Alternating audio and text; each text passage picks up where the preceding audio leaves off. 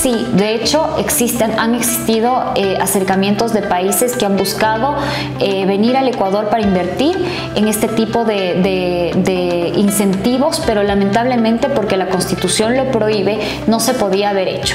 Con la, con la enmienda que se va a hacer a través de la pregunta 8, será posible eh, establecer estos vínculos con otras organizaciones y países interesados.